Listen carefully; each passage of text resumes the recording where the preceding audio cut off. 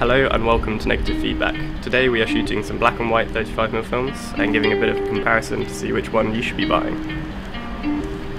We are in the lovely Hackney Studios. Um, we've got a great space to take some pictures of some guys in here uh, to give some good, cool pictures of the films.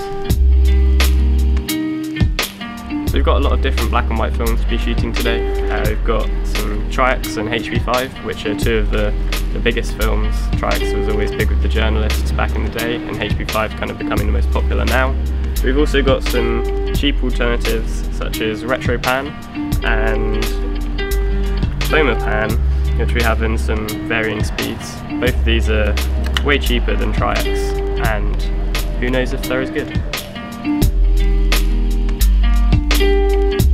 So the first roll I'm going to be shooting is Ilford HP5, uh, which is a 400 speed black and white film. It's actually my favourite uh, film to use for black and white. It's just a great standard kind of not too contrasty, not too dull, just nice.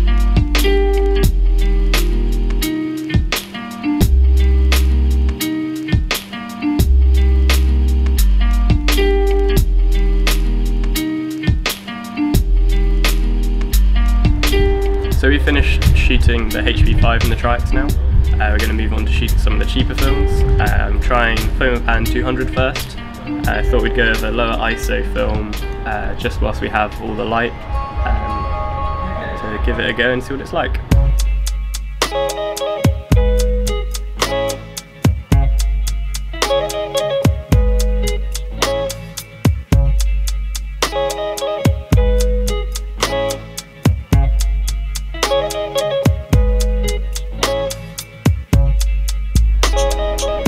So now we're going to be shooting some RetroPan 320, which is slightly weird. I don't think I've ever seen a 320 speed film. It also says soft on it, uh, which doesn't fill me with hope of what it might be, but let's give it a go.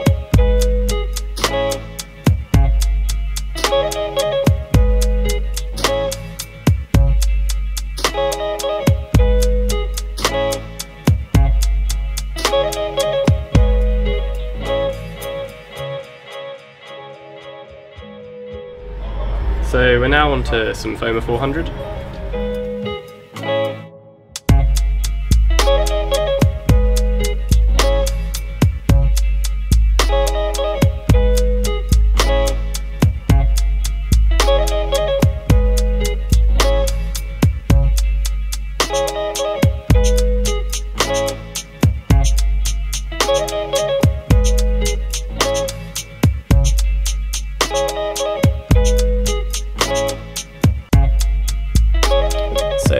Just as a little preface of some information, uh, after the time we had the lovely studio to take the pictures, I have spent a fair bit of time in my bathroom, in my makeshift darkroom, developing all the photos. I used ID11 at 1 plus 1 dilution. First time I've ever used it, usually use Ilfosol, but this worked excellently. Um, the Foma 200 definitely was meant to be shot at 200, I did that by accident and it didn't really hold up as well in the shadows.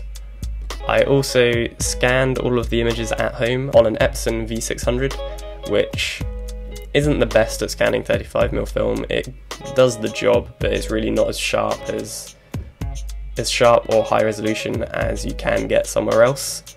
So to kind of counteract this, to give you a better idea of how the images would look if you took them to a ProLab, I went down to Photo Fusion in Brixton in London and I borrowed their Imacon virtual drum scanner and I did a few high res scans uh, off each roll. So on our lovely website, you can now go and have a look and see what it would look like in its full glory or what it would look like if you're like me and you develop your film at home. So going into this, um, HP5 was definitely my favourite film and I think it's certainly retained that um, title.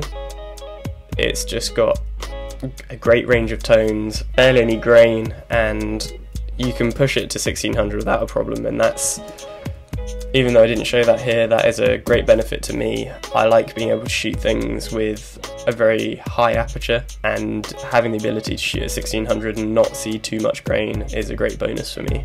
Next up, the Tri-X I have always hated before. It's always been too contrasty. And I think sometimes it looks like it's been over sharpened or something, like especially in this denim jacket, it looks a bit strange. But these are actually my favourite pictures I've taken on Tri-X, and some of these are actually really nice, I think. Um, I do think the image that I will show now on the Imacon looks way way better than the home scanning. I'm not sure the V600 does Tri-X any justice at all. And to be honest, I don't think I would buy it again. Um, I just can't see the point when it's slightly more expensive than HP5 and it's just not as as much what I'm looking for. HP5 is more like a blank canvas where you can add the contrast back in and it's kind of harder to take it away from the Tri-X. The Foma 200, which I accidentally messed up, isn't great.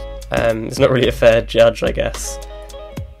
Like it, it, I guess it did its job well for how much it got thrown in its stride. Um, I don't dislike the photos, but they're not great. Foma 400 on the other hand, I do actually really like. Um, it's a much cheaper alternative and it holds up great. Some of the images do have a bit more grain and it does look like the shadows didn't quite hold up quite so well, but I think it's actually really nice and I'd definitely shoot it again. I think the RetroPan 320 was definitely a surprise of how nice it came out. It is extremely grainy, um, strangely so considering that this was a lower speed film than the rest that I shot. But I guess it's kind of the character of the film. It's not too distracting, and what is behind the grain is actually quite nice.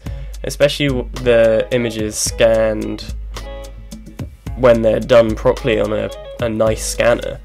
The grain kind of just disappears, um, and then it's really nice, a, like a great alternative. So I think in all, HP5 is definitely what I would go to. I'd be interested to see which one you prefer, and please let me know.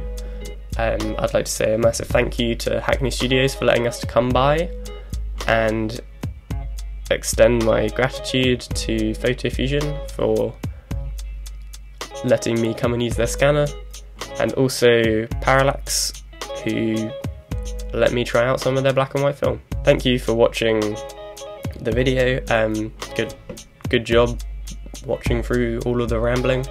Um, hopefully see you next week. Hope you enjoyed it.